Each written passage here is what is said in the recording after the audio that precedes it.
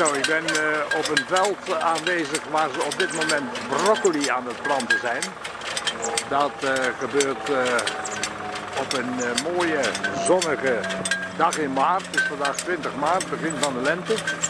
En ze zitten hier keurig netjes een aantal dames en een controleur die erachter loopt om nog eens even te kijken of alle plantjes wel goed in de grond zijn gekomen.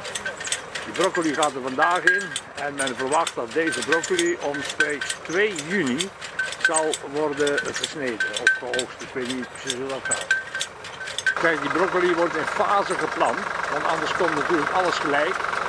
En dat zou heel beroerd zijn eh, voor het uh, marktgebeuren. Alhoewel, je hebt het niet altijd in de hand, zegt uh, de man, meneer Pijnen, die hier de broccoli plant in opdracht voor landbouwer Piet Bogers. Deze broccoli die wordt geteeld, wordt geplant, eigenlijk allemaal door Albert Heijn. Dat loopt via Hollands Krop in Ossenweg. Dus vroeg of laat als je in de winkel komt om uh, broccoli te kopen, dan heb je grote kans dat je de broccoli hier eet die je nu op dit moment ziet planten. Plantjes staan allemaal in perspotjes en uh, dat maakt het natuurlijk vrij makkelijk voor de dames om uh, die, plantjes te grijpen. Het is alleen wel werk, je moet niet zitten slapen, want zodra dat je natuurlijk even faalt, dan staat er niks. Dat is niet de bedoeling. Dus, het zijn ijverige Poolse handen die je hier bezig ziet. En dat is prachtig natuurlijk dat deze mensen hier in Nederland de kost kunnen daar nog eens heel erg blij mee zijn. En hij zoekt plantjes die op een zeker moment niet helemaal goed zijn terechtgekomen. Die, daar, hij loopt als controle erachter. Ze draaien met een valnet. En daarachter staat nog een valnet. En straks dan spuiten ze meteen, de spuit zie je daar aan de achtergrond. Dan spuiten ze meteen voor uh, onkruid. Dat uh, is eigenlijk uh, voor opkomstmiddel. De grond is in feite een klein beetje verdroogd, maar goed, het planten. Het gaat er eigenlijk maar in feite om dat precies de vochtige grond na het planten geraakt. Waardoor dan later tussen de rijen in gestoffeld kan worden.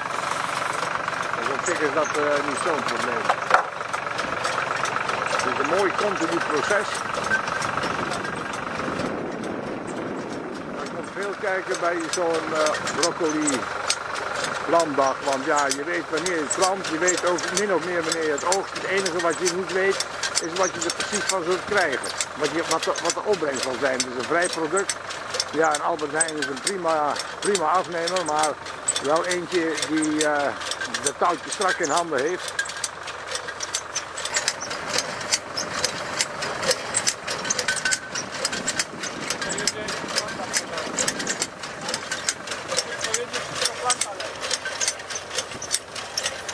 Kijk.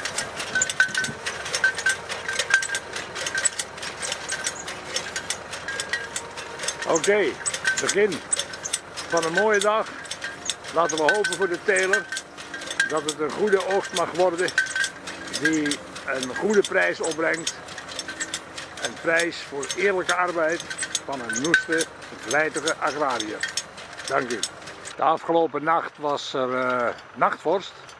En om de plantjes enigszins te beschermen hebben ze ze gisteravond nog uh, voor een deel afgedekt met folie. Dat folie blijft liggen tot uh, omstreeks 5 mei en wordt dan weggehaald waarna de vrije natuur uh, zijn werk moet doen. Kijk, het veld is nog lang niet klaar, maar er zit schot in. We zijn nu aan het voorhand, even draaien en keren en weer een nieuwe rij.